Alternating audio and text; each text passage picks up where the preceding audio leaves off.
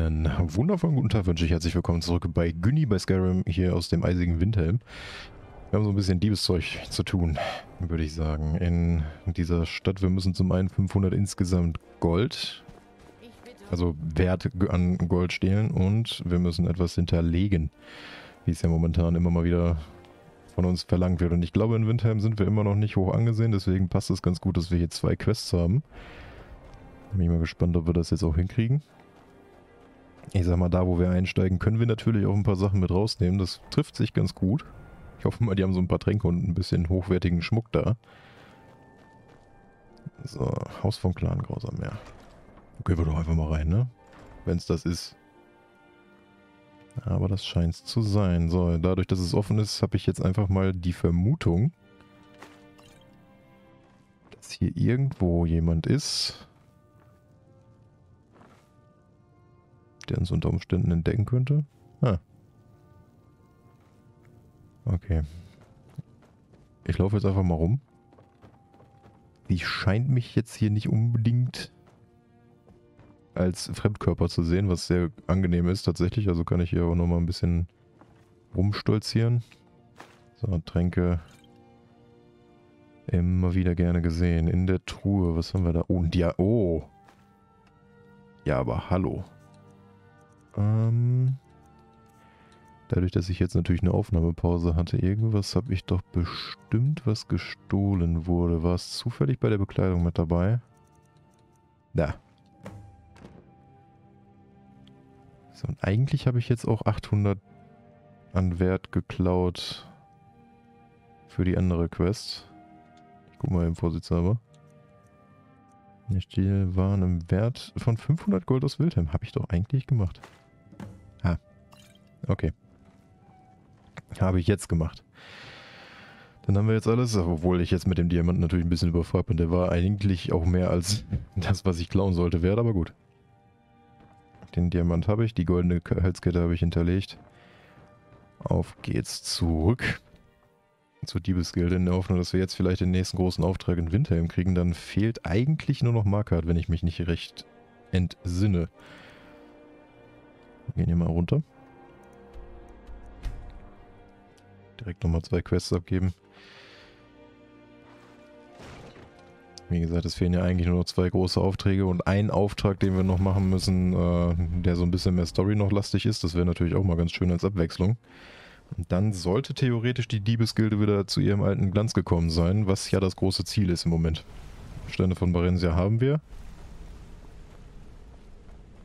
Ich glaube, dadurch, dass wir die Krone schon zusammengesetzt haben, habe ich den Diamanten jetzt auch erst gefunden, weil der Effekt, den wir dadurch bekommen, der ist ja dazu da, dass wir mehr Edelsteine finden in Truhen. Habe ich mal nachgelesen. Ich habe recherchiert für dieses Let's Play. So, moin, ich komme gleich zu dir. Ich hoffe, ihr bringt gute Nachrichten. Jawohl, ist erledigt. Oh, ihr seid wieder da? Dann wollt ihr jetzt wohl bezahlt werden. Das ist absolut richtig. Hey, was glaubt ihr denn, wo ihr hingeht? Wir haben zu tun. Ich habe von diesem grausam Meer in Windhelm gehört, dass eine rivalisierende Gilde sich anschickt, uns in die Quere zu kommen. Oha. Und nicht nur das.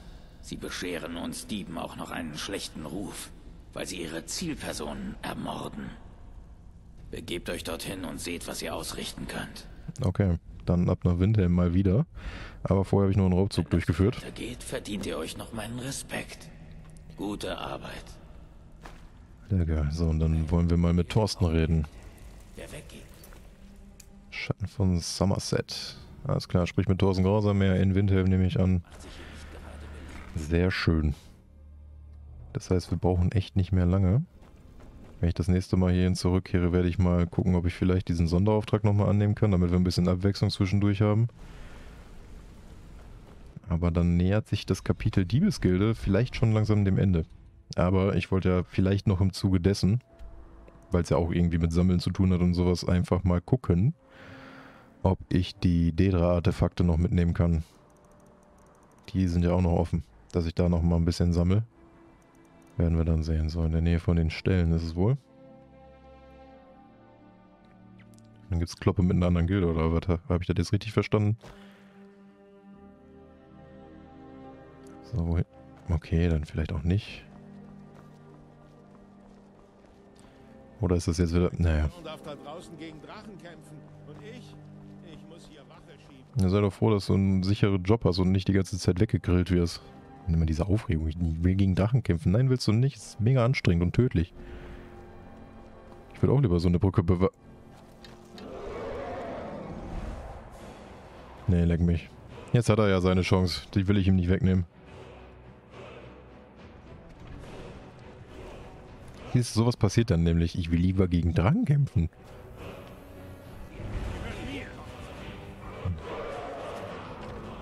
Leute, ich will einfach nur schlafen, ganz ehrlich. Ja, mach den mal. Äh, achso. Hallo. Wenn ihr Lust auf einen kleinen Bissen habt, hätte ich frisch gebackenes Brot und guten Käse anzubieten. Ja, das klingt doch sehr nett, aber ich hätte gerne lieber ein Zimmer. Natürlich. Für heute gehört. Ich zeige Danke. euch. Ja, ich weiß schon, wo ich war schon öfter hier und hab euch alles geklaut. So, 10 Stunden Güntherschlaf. War auch schon lange nicht mehr. Vielleicht hat sich bis dahin dann der Drache verzogen. Oder der Ich möchte gegen Drachen kämpfen Kollege hat mittlerweile gegen Drachen gekämpft. Lasst mich wissen, wenn ihr sonst noch etwas braucht. Hier gehört der Frostdistelhof außerhalb der Stadt. Ehrliche Arbeit, wenn auch ein bisschen eintönig. So, mir wurde gesagt, ich hätte, oder ihr hättet einen Job für mich. Meine Tochter Fjordli. Sie wurde vor ein paar Monaten ermordet. Sie lag in ihrem eigenen Blut auf dem Boden. Das ist aber nicht nett. Ich glaube, sie waren hinter ihren Wertsachen her. Sie trug immer viel zu viel Schmuck in der Öffentlichkeit. Als ich ihr sagte, dass sie das noch ins Grab bringen würde, hätte ich, hätte ich nie gedacht, dass... Okay, also ich kann euch versichern, dass das niemand von der Gilde war. Ihr müsst nichts erklären. Mir sind die Methoden eurer Gilde wohlbekannt. Ja, aber wir töten ja Ich nicht. habe Wochen gebraucht, um den Mörder zu finden.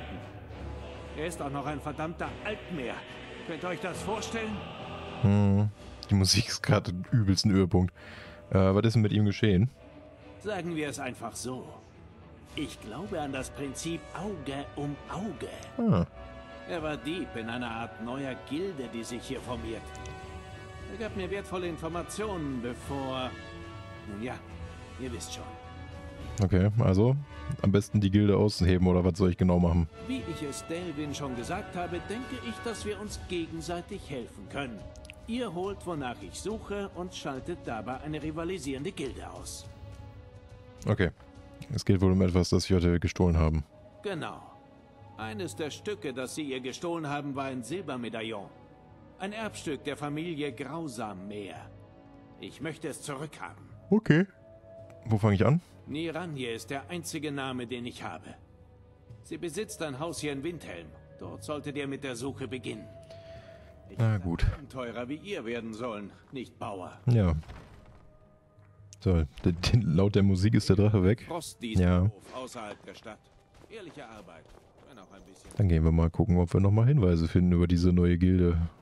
Und ersticken sie im Keim. Hallo. Ja, kann ich euch behilflich sein? Infos über die Dilbis-Gilde. Jetzt. Ich bin wegen Fjottli hier. Fjordli. Fjordli. Wo habe ich diesen Namen nur schon gehört? Hm. Ach, natürlich, das arme Mädchen, das ermordet wurde. So ein hübsches junges Ding. Eine echte Tragödie. Okay, spart euch das Theater. Ich weiß, dass ihr etwas mit ihrem Tod zu tun habt. Raus mit den Infos, junge Dame. Wie könnt ihr es wagen? Ihr beschuldigt mich der Beteiligung an einer derart, derart ruchlosen Tat? Allein dafür sollte ich euch verhaften lassen. Ja, versuch's doch. Okay, ihr seid vielleicht ein ganz anständiger Dieb, aber ein furchtbarer Schauspieler. Erzählt mir alles, was ihr euch alter gleiche Schicksal wie Fjotti. Für sowas habe ich keine Zeit. Ja, komm, ne? Sag doch, wir, wir sind vom selben Schlag so gesehen. Ich habe leider keine Ahnung, wovon ihr redet. Ja gut, dann gibt's jetzt aufs Maul. Wartet einen Moment, denken wir darüber nach. Ihr wisst schon, besprechen wir sie wie zwei vernünftige Leute. Ja, siehste, geht doch. Dann mal los. Hört zu, ich hatte keine Wahl. Sie sind verrückt. Sie hätten mich umgebracht. Wer sind Sie? Es ist eine Gilde von Altmeerdieben. Sie nennen sich die Schatten von Somerset. Ihr Anführer Linway ist der schlimmste der ganzen Bande. Er bestiehlt die Toten. Das ist unerhört. Okay, er, er tötet seine Zielperson. Nein, Linway bestiehlt die Verstorbenen. Auch schön. Die Leichen aus, bricht in die Halle der Toten ein. Er hat sogar Abstände, toll. Körper dieses armen, ermordeten Mädchens genommen. Oder was davon noch übrig war. Ja, die machen sich ja richtig einfach. Okay, und ihr seid da hineingeraten, wie? Ich habe vor langer Zeit als Hehler für die Diebesgilde in Himmelsrand gearbeitet. Ja. Als Linway hierher zog, wandte er sich an mich und sagte, wenn ich nicht als Hehler für ihn arbeiten würde, würde er mich umbringen. Und dich dann beklauen. Okay, wo versteckt er sich? Wenn ich es euch sage, müsst ihr versprechen, dass ihr mich nicht tötet. Ja, euch nicht, ihn schon. Ein echter Aktivposten für die Diebesgilde. Ich bin einer der besten Hehler in Himmelsrand. Ja, das ist doch nice. Ich wollte gerade sagen, das ist nicht unsere Art. Ich bin noch in einer anderen Vereinigung, die ist ein bisschen mehr so drauf, aber die jetzt hier nicht. Linway versteckt sich in einer Höhle bei den flüsternden Hügeln. Er hat seine ganze Gilde dort, also seht euch vor. Wenn ihr all das Okay. erledigt habt, könnt ihr jederzeit wieder zu mir kommen und ich werde meinen Teil des Handels erfüllen. Chillig. Finde ich gut. Ich finde dich sympathisch, also ist alles in Ordnung. Äh, was ist mir völlig geschehen? Wie lange seid ihr schon im Winter? Bla bla, alles klar. Ich habe nach euch gesucht. Oh. Ich soll euch etwas liefern, aber nur euch persönlich. Ja, dann heraus damit. Lasst mal sehen. Vielleicht wieder jemand gestorben. Das ist von Falk Feuerbart im Blauen Palast. Hoho. Ihr habt aber wirklich hochgestellte Freunde.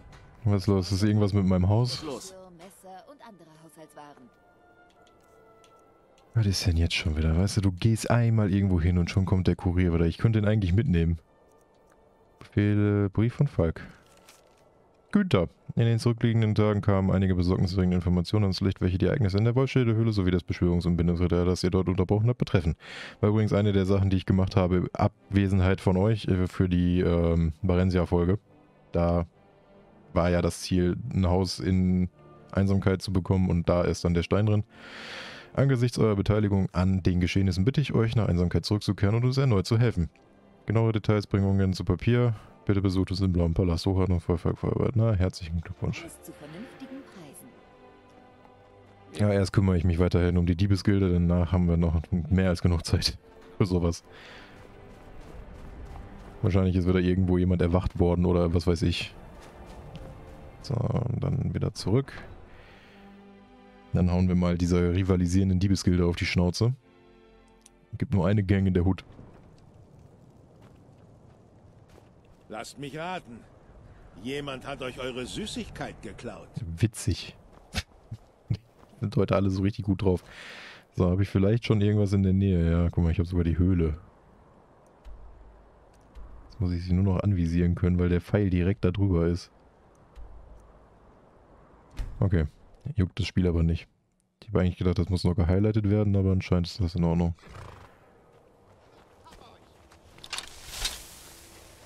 Euer Kopf! Was ist mit meinem Kopf? Ich habe dich leider nicht verstanden. Du liegst bereits in deinem Blut.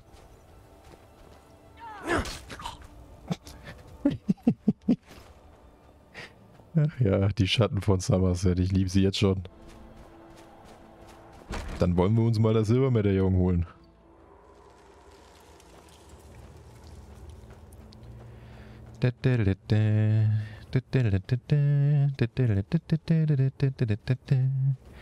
Ich habe so Lust, ein paar Leuten auf die Schnauze zu hauen, aber ich mache so ein bisschen ruhiger mit meiner Armbrust. Wo ist sie?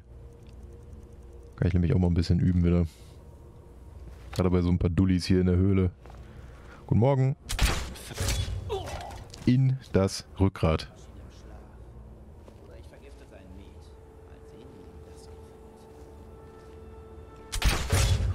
Einmal in die Klötze. Ich mag, was hier passiert. Aber natürlich habe ich mal wieder nicht meine Zwergenbolzen ausgerüstet. Die ich extra so in feiner Handarbeit selbst hergestellt habe. Warte mal, bevor ich da runtergehe, loote ich den einen Kollegen nochmal. Da kommen wir auch mal tatsächlich wieder ein bisschen dazu, hier Leute zu looten, während sie bluten.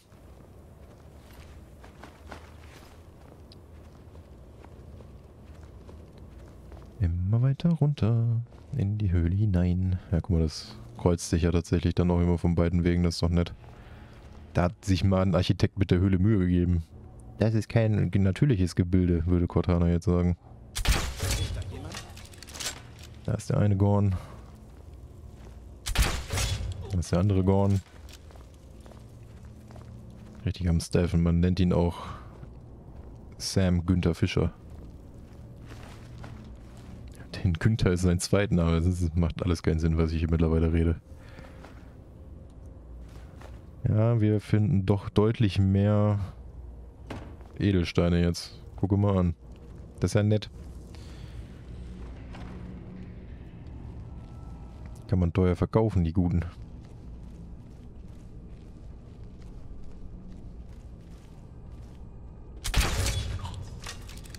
Schön die Treppe runter. So, ich bin weiterhin versteckt. Aber die werden misstrauisch. Schleichen ist verbessert. Ja, geh mal gucken. Da liegen zwei Leichen im Flur. Gucken sie die mal genau an. Nicht? Okay, dann, dann halt nicht. Dann gehe ich halt einfach weiter. Doch niemand da. Wetten doch. Es gab einst eine Holde, ihr Haar glich dem Golde des Frühlings in Stross Meckay. Schön in den Schlaf gesungen. Schön ins Arschloch geschossen.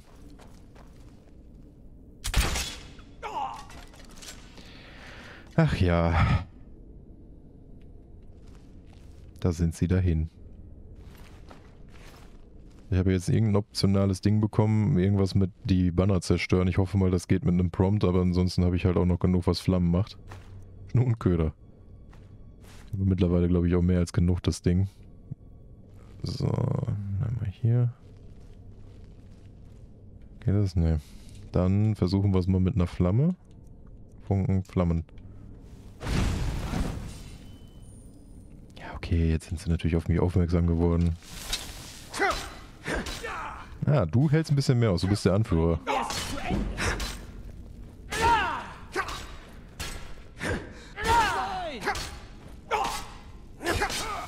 Ja, genau.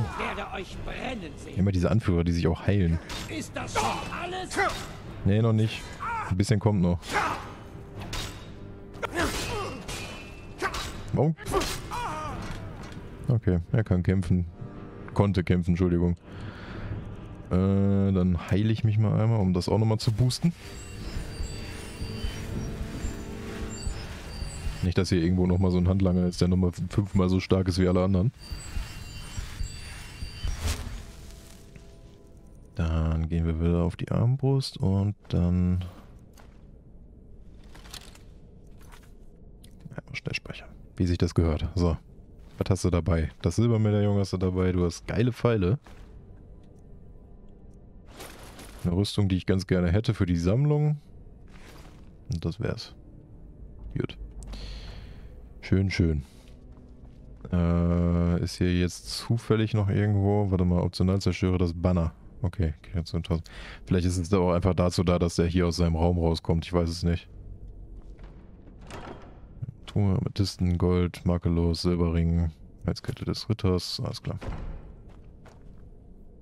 So ein bisschen was mitnehmen. Streitkolben-Etikette. Gutes Buch, habe ich schon mehrfach zu Hause. Bettlerprinz. Kenne ich mittlerweile auswendig, glaube ich. Prüfung kenne ich nicht. Noch ein bisschen was mitnehmen an Büchern. So, raus hier. Das war's dann mit dem kurzen, aber feinen Aufblitzen der Diebesgilde Schatten von Somerset. Hat jetzt nicht so lang gehalten. Haben schön dann auf hart gemacht, von wegen, wenn ihr euch nicht, wenn ihr uns nicht helft, dann seid ihr des Todes. Und wir klauen nur von Toten, weil wir nichts drauf haben und uns nicht erwischen lassen wollen. Ja, jetzt liegen sie alle blutend im Staub. Haben sie nun davon. So, einmal raus, einmal zurück, einmal Bescheid geben. Das kriegen wir diese Folge noch hin, da muss ich jetzt keine neue für anbrechen. Geht dann jetzt ein bisschen länger, aber da seid ihr glaube ich auch nicht böse drum. Da, da, da, da, immer dem Wind hinterher. Himmelsrand. Halt den Rand, lol. So. KT. Na gut, das ist nicht so weit weg. Ich denke mal, da werden wir nochmal gute 10 Stunden Günther-Schlaf reinschieben zwischendurch. Oder wir treffen ihn doch noch. Des Nachts, da wo man solche Geschäfte in der Regel auch bespricht. Die Grausammeer-Familie besteht seit Generationen aus Seeleuten. Schön. Es schmerzt mich, dieses Medaillon zu sehen und an Fjordli erinnert zu werden. Aber ich bin froh, dass es wieder dort ist, wo es hingehört. Sagt Delvin, dass er meine Unterstützung für die Diebesgilde in Windhelm hat. Mach ich. Er sie noch wünscht. Ja, ich sage ihm auf jeden Fall Bescheid. Hätte Abenteurer wie ihr werden sollen, nicht Bauer. Ja, Diadem der Veränderung hinzugefügt. Alles klar, dann sagen wir Delvin Bescheid, aber wie gesagt, ich habe es versprochen, wir pennen erstmal. Ich werde jetzt ganz bestimmt nicht nachts in irgendeinem Schneesturm anfangen aufzubrechen. Gehört mir das Bett noch? Ja, easy.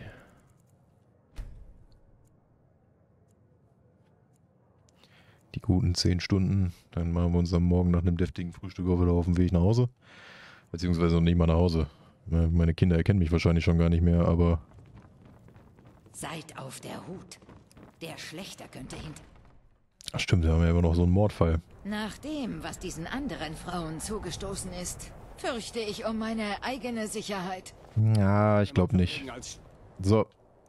Wieder nach Rifton, ab in die Diebesgilde, kurz Devin Bescheid geben. Und dann wieder neue Aufträge einholen. Für Markart hoffentlich. Ich werde auch mal zusehen, dass ich jetzt wahrscheinlich dann auch mal gucke, dass ich keine anderen Aufträge mehr auf annehme.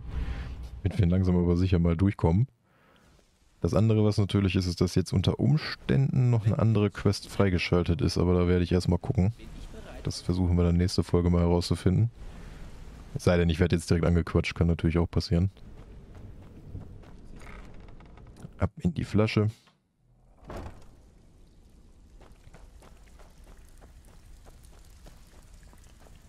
So, moin. Ich habe jede Menge Aufträge zu vergeben.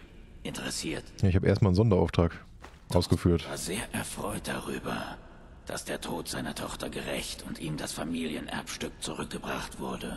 Kein Thema. Hat sich bereits daran gemacht, die Basis für einen Gildenstützpunkt in Windhelm aufzubauen. Das Verbrennen der Flagge war eine feine Dreingabe. Jetzt sollten die Schatten von Somerset verstanden haben, dass mit uns nicht zu spaßen ist. Ich will's hoffen. Erfolg bedeutet, dass die Gilde wächst. Wir haben einen weiteren Händler und einen neuen Rekruten aufgenommen. Ach, guck. Das Leben als Dieb ist für euch wie geschaffen, nicht wahr? Ja, und als Magier, als Mörder, als sowieso. Ehe ihr euch verseht, wird euch sogar Vex Respekt zollen. Das wäre doch mal etwas, oder? Hätte was. Gut, extra Arbeit machen wir jetzt erstmal noch nicht. Jederzeit zu mir kommen, wenn ihr euch etwas dazu verdienen wollt. Guck mal kurz den Händler an. Ist das jetzt die Hehlerin oder ist die in Windhelm? Weil so wie das klang, bleibt die halt in Windhelm und ist dann immer Ansprechpartner für uns. Ah, guck mal, einen Schmied haben wir jetzt. Guck mal, Ansgar Glutmeister, alles klar. Reparaturbedürftig oder dürfte ich euch eine neue anbieten? Chillig, alles klar. Dann möchte ich aber kurz einmal... Obwohl, das machen wir jetzt auf jeden Fall nicht mehr. Da müsste ich einmal kurz mitreden in der Hoffnung, dass es vielleicht Neues gibt. Aber ich würde sagen, erstmal vielen, vielen lieben Dank fürs Zusehen. Ähm, beim nächsten Mal werden wir mal schauen, ob ich nochmal andere extra Aufgaben kriege und ansonsten werden wir uns um Markart kümmern.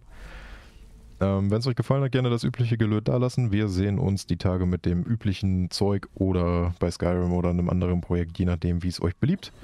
Macht es gut, bis dahin und tschüssi.